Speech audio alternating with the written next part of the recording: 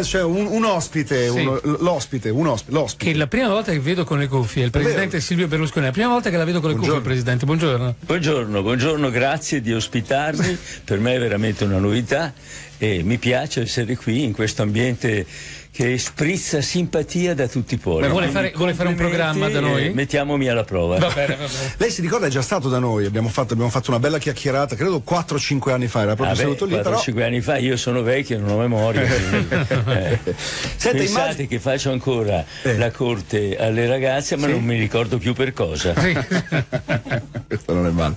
Senta, allora, eh, immagino sia venuto per parlarci un po' della crisi del Milan, come O delle feste di Natale. dei regali, cioè di- No. di- co- qual è l'argomento? Vuole secondo- parlare del suo programma politico? No, Gli argomenti siete in casa vostra e possiamo il decidere noi. diritto di sceglierli voi. Io sono qui e cercherò umilmente di darvi delle risposte soddisfacenti. Allora io ho una prima domanda, Esatto. perché lei sta scendendo in campo dopo 23, eh, 23 anni dalla prima volta.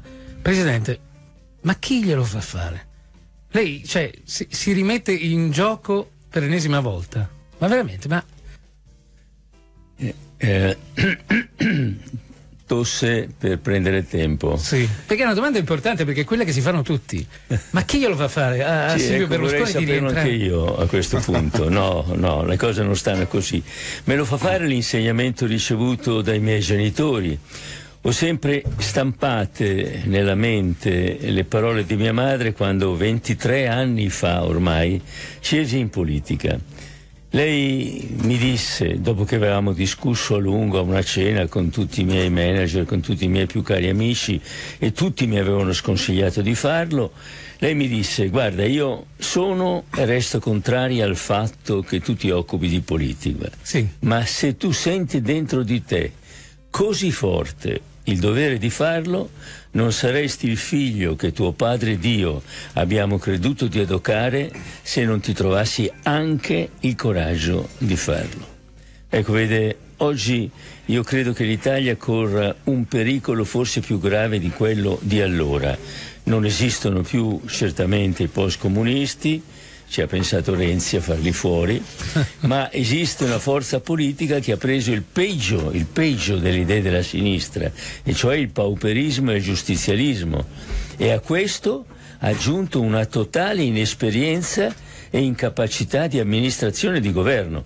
Parlo naturalmente del Movimento 5 Stelle, una forza costituita interamente da professionisti del nulla e che adesso sono diventati professionisti della politica perché si tratta di persone che non hanno mai fatto un altro lavoro in, fit- in vita loro. Eh, eh, mi si fa riflettere il fatto che l'87% dei loro parlamentari prima di entrare in Parlamento non facesse neppure la dichiarazione dei redditi e quindi per mantenere o conquistare un posto sicuro in Parlamento sarebbero disposti a fare qualunque cosa agli ordini di un vecchio comico e di un misterioso professionista della comunicazione che nessuno ha mai votato.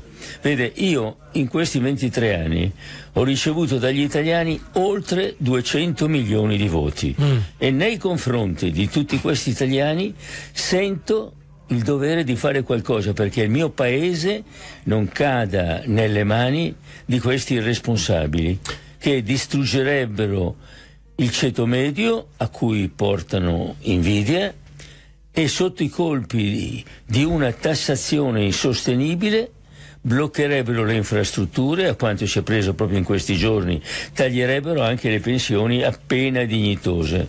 Ecco chi me lo fa fare, ecco perché lo faccio. Direi che ne vale assolutamente la pena. Senta, lei ha accennato alle tasse no? rispetto alla questione della dichiarazione mai fatta, insomma lo dicevo un attimo fa, dei, dei- dei rappresentanti del, del Movimento 5 Stelle. E, e le tasse in effetti sono proprio al primo posto del suo programma che si snoda attraverso sei punti. Lei eh, dice appunto che se andrete mh, al governo insomma eliminerete la tassa sulla successione, sulle donazioni, l'IRE per le imprese, eh, l'IMU agricola, il cuneo fiscale in Italia è, è- è molto alto, mediamente 10 punti percentuali sopra la media europea. Eh, c'è sempre la solita domanda in questo caso, cioè dove troverete le risorse? Sarà una cosa facile? È una cosa possibile, fattibile? Sì, eh, non sarà una cosa facile, ma sarà certamente una cosa fassibile.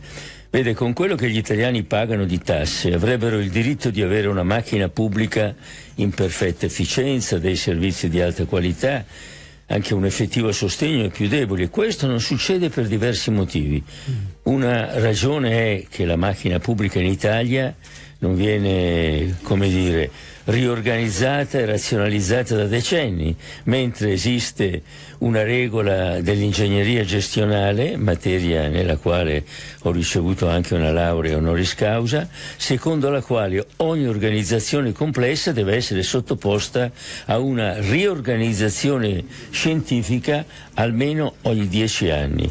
E solo noi abbiamo la competenza per riorganizzare il sistema Italia, non solo il governo, ma anche la pubblica amministrazione mm. ad ogni livello. E lo faremo partendo proprio dai servizi ai quali i cittadini fanno un diretto riferimento, mm. sempre per la regola che ho citato, una riorganizzazione fatta dopo 30 anni in, eh, nella materia di ingegneria aziendale lo considerano un dogma, aumenta la produttività se, ripeto, la si fa dopo 30 anni, avendo saltato il decimo anno e il vent'anno, aumenta la produttività del 15% e si tagliano i costi addirittura del 35%. Ma poi c'è anche un'altra considerazione da fare. Nulla, neanche una macchina pubblica efficiente, giustificherebbe la tassazione che oggi gli italiani subiscono.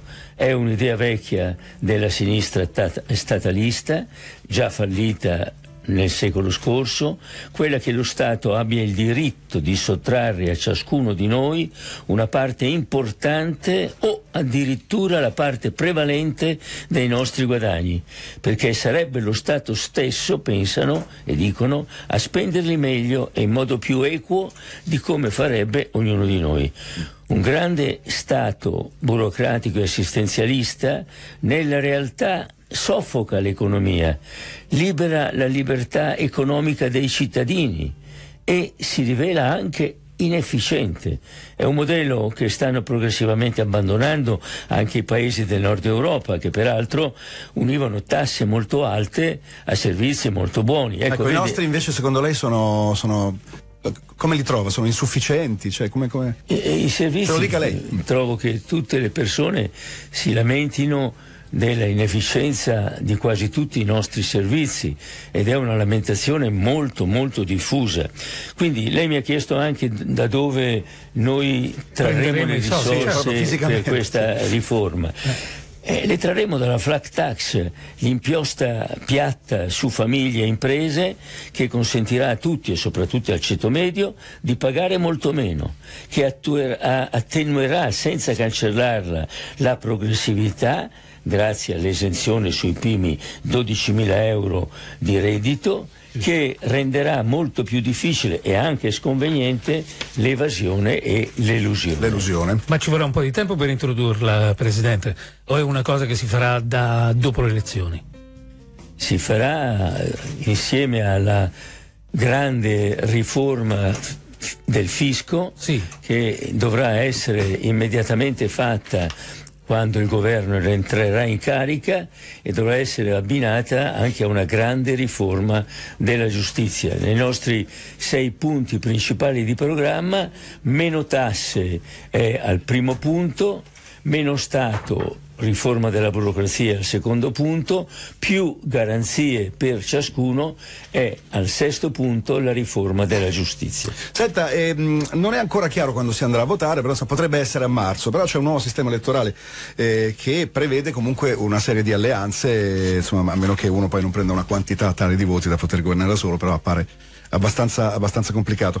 Vuole dire a noi, visto che ha fatto dei nomi, cioè, con, chi, con, chi, potrebbe allearsi e chi potrebbe essere nel caso, nel caso della sua eh, ineleggibilità, anche lì però insomma non, non si capisce bene se, se, sia confermato o no, però insomma ci dice il nome del candidato premier cioè, e il, il, nome delle persone. Se lei Presidente ci dice ecco. in questo programma, il 105 Friends, chi sarà il candidato premier secondo lei? Diventiamo famosi, molto. Cioè, Guardi, io ho fatto dei sì, nomi la Fazio ne ha di fatto persone uno, no? che non avevo nemmeno contattato. Ah, cioè loro l'hanno scoperto dalla televisione. soltanto dei nomi per indicare la qualità delle persone, l'autorevolezza delle persone che noi vogliamo trovare affinché siano da un lato presidenti del Consiglio e dall'altro anche i ministri. Sì. Per quanto riguarda i ministri, eh, noi pensiamo a una maggioranza dentro il Consiglio dei Ministri di eh, non politici di professione, ma eh, di protagonisti dell'impresa, delle professioni, dell'istruzione, eh, degli alti gradi, del volontariato. Cioè, Cioè, gente che non ha fatto politica.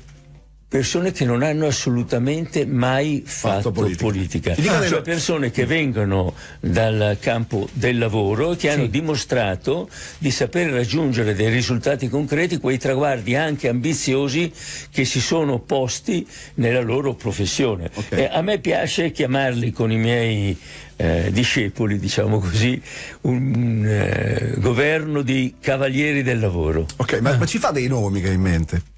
Fa- ci faccia un E non nome. faccia i nostri due nomi. No, per noi purtroppo non. eh, No, ma guardi, non Eh. diciamo nomi perché oggi eh, tutte le frecce andrebbero a colpire il personaggio che sta sotto il nome.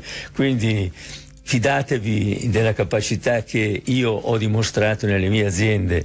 Ho assunto quasi, anzi più di 2000 manager, eh, dirigenti Sì. e quindi fidatevi della mia capacità di valutare le persone. A, a proposito delle aziende, Presidente, dobbiamo andare in onda la pubblicità. Ecco, facciamo Quindi una ci pausa. fermiamo un attimo, ma ritorniamo tra poco a lei. La pubblicità è sacra, Eh, quindi mandatela subito Vabbè. in onda. Grazie, a tra poco.